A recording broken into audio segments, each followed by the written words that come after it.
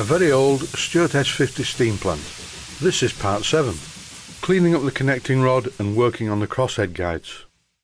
First of all, the connecting rod, and on the end of the connecting rod is a small bolt, but it's not a bolt. It looks like a bolt, but it's just a blanking plug. Normally this would be used for an oil way through to the main bearing, but in this case there isn't an oil way and this is just a dummy plug. So I'll put it on one side for the moment while I clean up the connecting rod, starting off with a piece of Scotch-Brite. Although the Scotch-Brite removes some of the tarnish, I needed something much more abrasive. More about this later on in the episode. I want to get to the part where I fix this broken bolt that snapped off in the casting. But before I go any further, it's back to the electric toothbrush and the panel wipe to remove some more grime.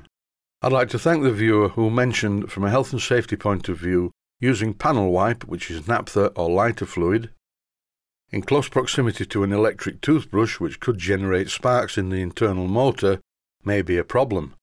What sits at a workbench and goes woof? Me, using panel wipe near an electric toothbrush which could generate a spark, but thankfully no thermonuclear explosion occurred. And I suppose this Proxxon motor tool generates sparks too, probably more than the electric toothbrush, but thankfully nothing has been ignited. And for the health and safety people out there, the fire triangle is incomplete because apparently I do not have a source of ignition. Now I've cleaned up the top of the crosshead, you can see the sheared off bolt. What I'm about to do is something that needs a bit of practice. As you can see, I'm using a centre punch, and I'm moving the centre punch and tapping it with a hammer in such a way that I end up with a deep centre pop exactly in the middle of the broken bolt. If I don't get this right, then there could be a big problem. Over now to the drilling machine, I'm using a tapping size drill for 7BA, and it's going right down the centre of the bolt. If you look at the swarf that's coming off the drill, this is not cast iron swarf, it is steel swarf. And the job was successful. The next thing to do is to rethread all the holes. Don't forget the holes are the wrong thread, I want them to be 7BA, so I'm going to thread all of them, but I'm being very careful with this one. Mainly because when I was initially rethreading this hole, it felt a little bit strange as I went part of the way down, and I didn't want to break off the tap, so I thought I'll do all the others and then revisit this one. The reason that the tap felt strange was initially it was going down into a hole that was drilled tapping size, because that's where I drilled out the old broken bolt. Then suddenly, after it got through that, it broke into the original thread, which is a Whitworth thread, and it's slightly smaller than the tapping size for 7BA. Mystery solved, I continue to tap the hole all the way to the bottom. Breaking off a tap in a piece of work is seriously bad, and breaking this tap off in this hole would be extremely bad. What could I do about it? Let me think. No, it's definitely not a good idea to break off the tap in a piece of cast iron. Time now to work on the upper crosshead bars, which are not particularly well made and they're not well finished, but as I always mention, I try to do sympathetic restorations, and sometimes it would be quicker just to make new parts, but no, the idea is to keep the patina or patina of the original engine to a certain extent. And I think the secret is knowing just how far to take the cleaning process so that when the engine's finished, apart from the paint job, which of course will be new, the other parts look like they have some age. I use my polishing spindle on this part as well as the sandpaper.